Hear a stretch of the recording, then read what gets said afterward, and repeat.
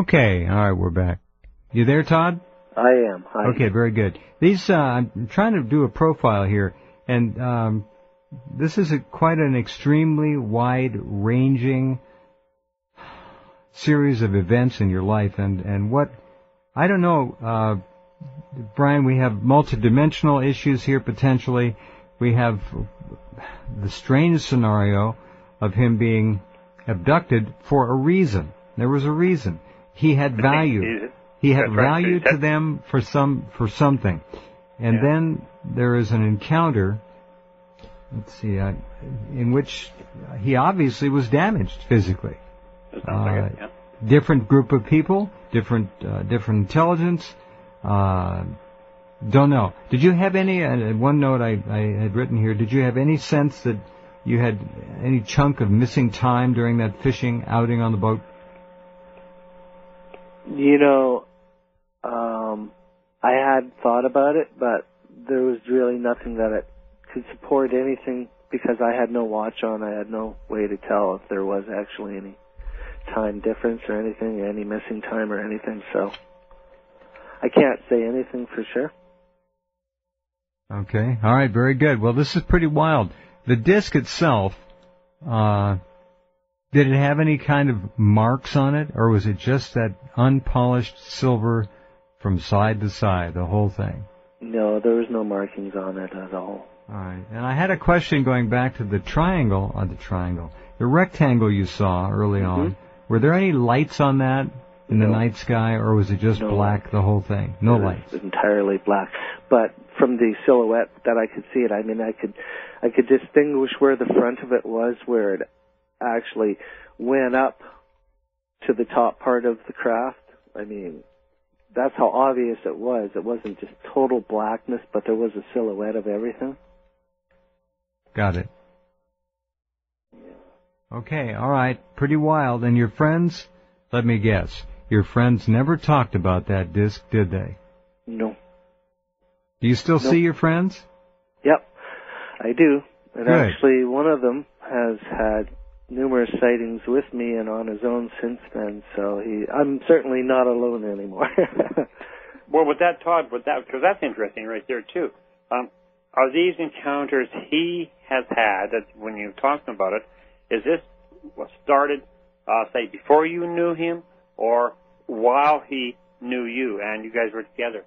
well, I, from what I understand, it, it's happened since, since we knew each other, since I was hanging out with him, since I got back. there you go. That's weird, eh? Yeah. So he got aboard or uh, got onto the uh, this year. Unreal. That's weird. Actually, there's a few of my close friends. The same sort of thing has happened as well since. What would that been those guys in the boat? Did they have any kind of experiences afterwards that you're aware of, or or is it some maybe some of them? Uh, just one fellow off the boat, and Okay. he's seen numerous crafts with me, and he's or objects, and he's also seen things on his own as well, but not nearly as close as I have. Well, at least you got some guys you can talk to over this without them thinking you're crazy. You know what I mean? Yeah, well, they- good, I have some know? very, very, uh, very understanding friends that are very That's good. supportive, and uh, you know, makes life so much easier. It does. Awesome. That's good. And you know what? You know, um, uh, you know what's really weird, um, Jeff? Do you remember a case there? Because you you know, was as as Todd explains what's going on here in this report. Um, you know, somebody thinks flashback. Man, we had a guest on there on your show, and uh, he, him and his girlfriend they came back to his mother's and dad's place, but they stayed in the guest house and they had their experience. And I remember when they were coming out because he carried her girlfriend from the guest house to the main house, and he got to the glass door. He wondered why they let the cat out. The cat had, wasn't supposed to be out. But when he, he watched the cat, it wasn't moving. Just like Todd was mentioning, it was kind of like frozen in time. Hmm. It was, you know, uh, that just bounced in my head. I couldn't believe what he was talking about because there's some really interesting things that you connect with other reports. Eh? It's fascinating, really. Mhm, mhm. Although, uh, you know, it can be kind of frightening and scary, and, and uh, you know, go through this, of course. Now, your your friends, Todd, have had experiences as well. Can you? Would you?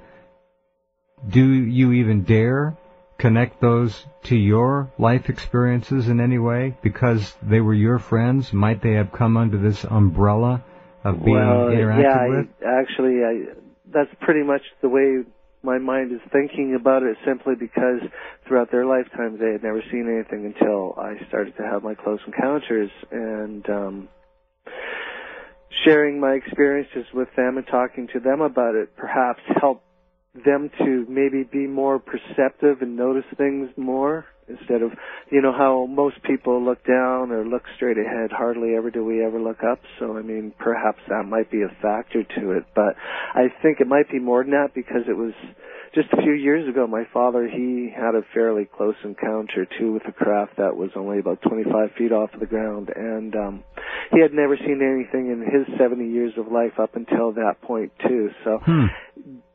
I, I do strongly feel that there might be some sort of a connection there. I can't say for sure though. Well, anybody wanting to hang out with Todd for a while might have some interesting experiences then. Yeah. All right. Okay, very good. Go ahead. This is uh, really uh, quite a wide-ranging, as I said, panorama of events and experiences, and I suspect there are quite a few more. Go, go on, Todd. Okay. Um. Now it was after the silver disc craft. Um, I pretty much spent the winter in Brandon and stayed away from the lake.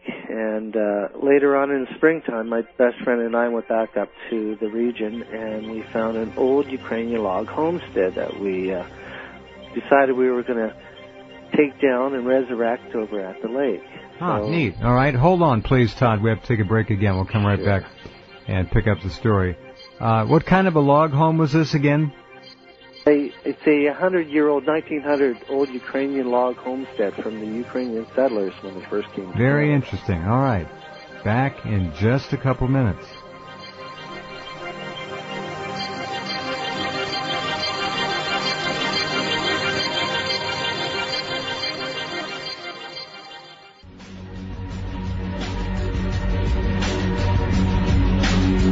Okay, and we're back talking with Todd, uh, Brian Vike, and I. We want to invite you to sightings.com. Uh, it's back up and running and looking great, thanks to James and Andy and Brian's work. And it is uh, 24 hours a day. The latest UFO ET news from around the world. All right, Todd, please go ahead. Okay, um, we're skipping ahead to the spring after my encounter with the disc in the August before that. Um, I had finally gotten over some of my illness. My hair stopped falling out. My teeth weren't becoming any more loose. And I was feeling a bit more better, more healthier. I didn't have that sickening feeling that I had. Um, my buddy and I had went up to the Parkland region. As I said, we found an old Ukrainian log homestead that we fell in love with and we thought it would look wonderful up at the lake. So we decided to take it down and uh, move it log by log and resurrect it back at the lake. So that's how we spent most of our time doing that. I uh, I always had the silver disc in my mind all the time while I was at the lake because well I had to be more aware of things around there for some reason. I just didn't, didn't couldn't put myself at total ease when I was working there. But uh we continued on that for three years. I never saw anything more, and I became more at ease. I became more relaxed. I really enjoy the lake. It's a very tranquil place. Uh, on our part of the lake, there's no electricity. There's very few people around. There's farmers on the outskirts and wildlife throughout the entire area, from bobcats and lynx to cougar and bears. So it's it's very diverse in, in wildlife out there. Um, three years had passed, and um, I found myself at the lake, enjoying the clear nights of, and the calm nights. The water was always calm, like a sheet of glass. It was very peaceful, just very tranquil, great for the soul. And I'd spend my